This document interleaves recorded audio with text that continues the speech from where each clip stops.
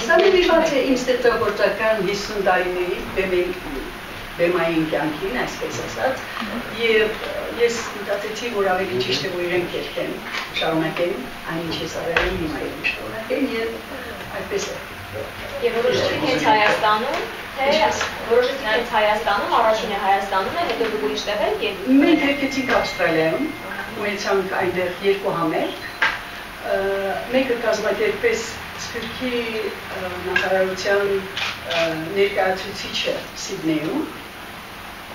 եւ երկրորդ ունեցանք ինստիտուտում որտեղ դասավանդում եմ երկու համեր որպեսզի ինձ համար ինձ մտահոգ քեցուցիչ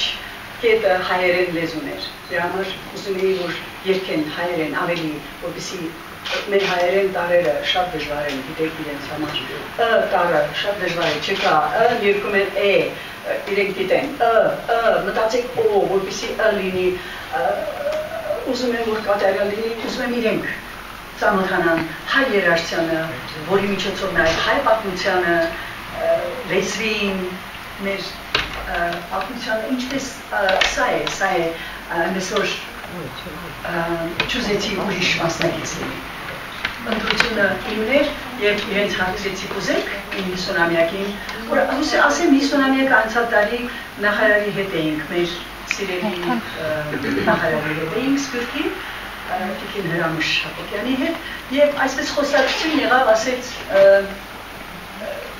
ծրագիր չունես Հայաստան գալու, ինչ է քո հաջորդ ծրագիրը, ասեցի, ես սկսեմ ասեց Մարիամս, աղջիկս, մամա, ինչու չես նշում 50-ամյակը։ Ես ասեցի, չէի մտածում, որ ասեց, ես անում եմ ամիջապես։ Այսինքն այդ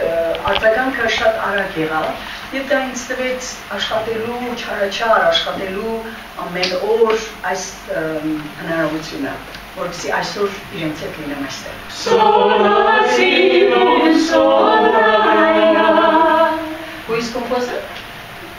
Depois compositores. Comentaram. Comentaram.